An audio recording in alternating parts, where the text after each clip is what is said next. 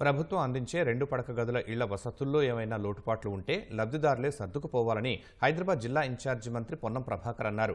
గోషామహల్ నియోజకవర్గంలో గత ప్రభుత్వ హయాంలో గుర్తించిన నూట నలభై నాలుగు మంది లబ్ధిదారులకు ఇవాళ రెండు పడక గదుల ఇళ్ళ పట్టాలను రెవెన్యూ హౌసింగ్ శాఖ మంత్రి పొంగులేటి శ్రీనివాసరెడ్డితో కలిసి పంపిణీ చేశారు. హైదరాబాద్ కలెక్టరేట్ ఆవరణలో కలెక్టర్ అనుదీప్ అధ్యక్షతన జరిగిన కార్యక్రమంలో లబ్ధిదారులకు ర్యాండమైజేషన్ పద్ధతిలో రెండు పడకల గదుల ఇళ్ళను కేటాయించారు. మేడ్చల్ జిల్లా రాంపల్లి వద్ద ఉన్న గృహ సముదాయంలో ఈ ఇళ్ళను కేటాయిస్తున్నట్లు అధికారులు తెలిపారు. తన నియోజకవర్గ ప్రజలు దూరం కావటం ఒక రకంగా బాధగా ఉందని ఎమ్మెల్యే రాజాసింగ్ కార్యక్రమంలో వ్యాఖ్యానించారు. పేదలకు పెద్ద సంఖ్యలో ఇళ్ళను కేటాయించాలని ప్రభుత్వానికి విజ్ఞప్తి చేశారు. ప్రభుత్వం ఏ కార్యక్రమం తీసుకున్నా కాళ్ళల్లో కట్టెబెట్టి కింద పడేసే విధంగా కుట్ర జరుగుతూ ఉన్నది. ఎవరికి కూడా ఇబ్బంది కలగజేయాల ఆలోచన లేదు.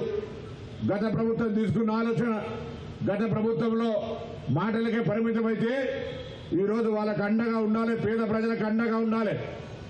ఈ ప్రాంతంలో కష్టపడి బతికే వాళ్ళందరూ కూడా సపోర్టుగా ఉండాలని మేమందరూ కూడా ఇందిరమ్మ ఇండ్ల పేరు మీద రాష్ట్ర వ్యాప్తంగా నియోజకవర్గానికి మూడు వేల ఐదు వందల ఇల్లు ఇచ్చే కార్యక్రమాన్ని ముందుకు తీసుకొని పోతా ఉన్నాం. ఇందిరమ్మ ఇల్లు కార్యక్రమాన్ని ప్రతిష్టాత్మకంగా చేపట్టాం. మొదట విడతగా ప్రతి నియోజకవర్గానికి మూడు వేల ఐదు వందల నుంచి నాలుగు వేల ఇల్లు ఇస్తున్నాం. ఇది విడతల వారీగా ఈ రాబోయే నాలుగు సంవత్సరాల మూడు నెలలు నాలుగు నెలల్లో రాష్ట్రంలో ప్రతి పేదవాడికి ఇల్లు ఇవ్వాలన్నది ఈ ప్రభుత్వం యొక్క ఆలోచన. వారు చేసి అని చెబుతూనే ఏదీ కంప్లీట్ కాకుండా వదిలేసిన ప్రతి దాన్ని అన్ని మౌలిక వసతులు కల్పిస్తూ పెద్ద ఎత్తున వాటి మీద కూడా డబ్బు ఖర్చు పెడుతూ ఇందిరమ్మ ఇళ్ళ విషయంలో ఈ రాష్ట్ర ప్రభుత్వం సంక్షేమాలు ఎలా తీసుకుంటుందో అభివృద్ధిలో కూడా అదే భాగంలో తీసుకుంటుంది.